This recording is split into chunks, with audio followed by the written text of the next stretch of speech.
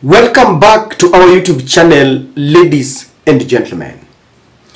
One year ago, when William Ruto and Rigathi Gachagua took oath of office, they urgently rushed to lift the ban on GMO that had been put by their predecessor Uhuru Kenyatta for a period of 10 years. This move rattled Kenyans and several rights groups, opposition, and, and, and, and the Law Society of Kenya condemned this act. And in fact, the Law Society of Kenya went to court challenging the lifting of this ban. Now, this, this case has been dragging in court for a period of one, one year. And we have been waiting to see what kind of ruling the judiciary would give us. Because the Law Society of Kenya had accused President William Ruto of acting unilaterally without consultation. They had cited that whenever there is a new phenomenon in our country, like, you know, initiating GMO and allowing it to be consumed by Kenyans, then there must be public participation because this has been entrenched in our constitution that Kenyans might, must have a say in whatever is being introduced to them because it's going to affect them directly. And there was another argument that we were moving to create a market for the American farmers because it is in the open that GMO is being produced largely in the USA. And even the Farmers Association had complained that when we welcome the introduction of GMO, we are not looking at their interest because we already had surplus in our stores, that yet we wanted to allow the GMO to be imported into the country. And people felt that before this move is authorized, then our technocrats must be allowed to weigh into this debate because there are Kenyans who are still confused about this move. There are a lot of allegations that when you consume GMO, even men will have protruded, protruded breast. But William Ruto said that as a scientist, he can confirm to us that GMO has got no negative effects. Others had been saying that the, uh, the, the spread of cancer disease is as a result of consuming the GMO.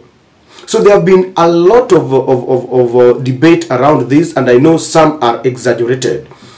And this is why the Law Society of Kenya, among other stakeholders, wanted this debate to be subjected on our national TV so that people can know exactly what genetically modified organisms are. Scientists who support this say that when you introduce GMO in Kenya, then they can withstand harsh environmental, you know, harsh climate and environmental conditions. And so they said it is a good thing.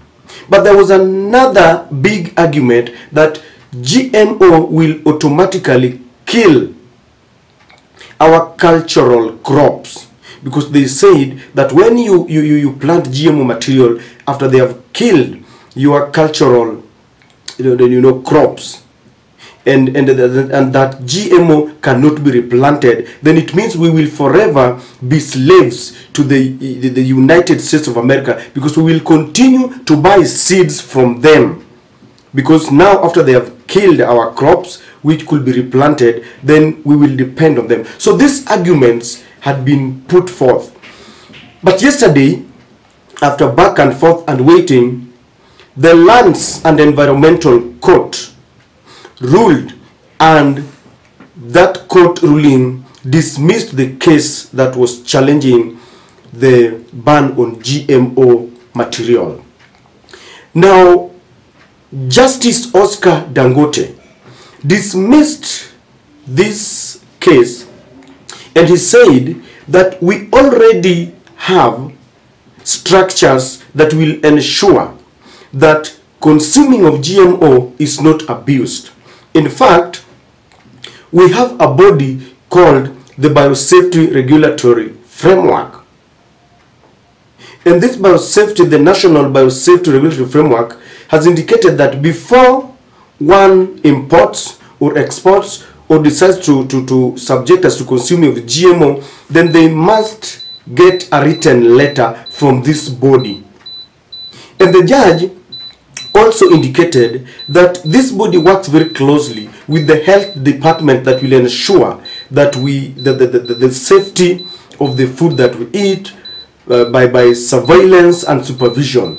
And in his own submission, he said that it cannot be that all these departments and independent institutions can connive and collaborate together to subject us to ill health, to subject us to consume that which is not good for our condition.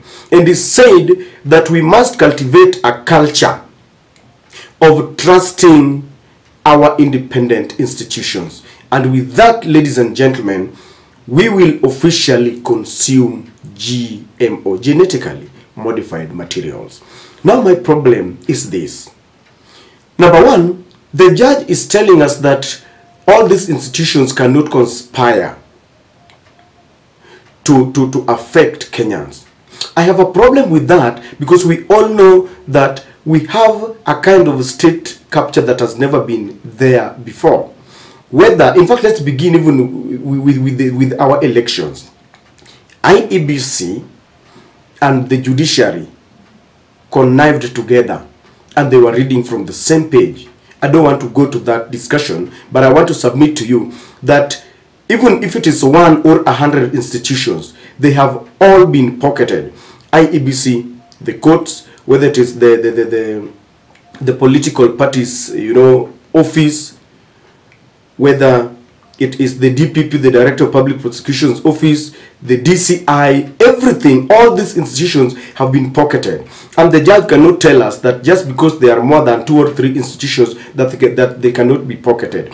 As long as we still have, as long as the president still has the authority to appoint the judges, he can appoint and, and, and, and dismiss, then these people can still swear their allegiance to the executive.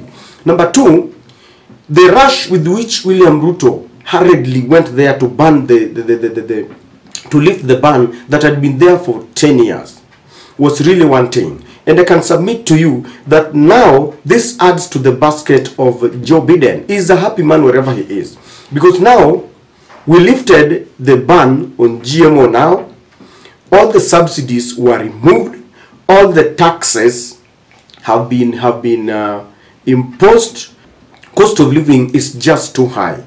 Now the LGBTQ has been passed through the same same courts, and we are now told that the LGBTQ plus community has got freedom of association. In fact, among all the dictates that the US and the Western country had given to William Ruto, there was only one that was pending, and this was the GMO. Now that the GMO has also passed, I can assure that they are home and dry because I believe that they had signed about the LGBTQ, the GMO, the subsidies, and the taxes. All of them have now been passed. In fact, there is one that is now pending the Haiti case that Ekuru Aukot took to court. That is uh, dead on arrival. I can assure you that it is going to be, the, the, the judge is going to give the green light because when Joe Biden wants something, it must happen. In fact, the thoughts and feelings of USA, of White House, are being reflected in our country. Whatever they want will be implemented. I told you the other day that we are being governed from Washington, D.C. or United Kingdom. And so, ladies and gentlemen, this is another win for Joe Biden.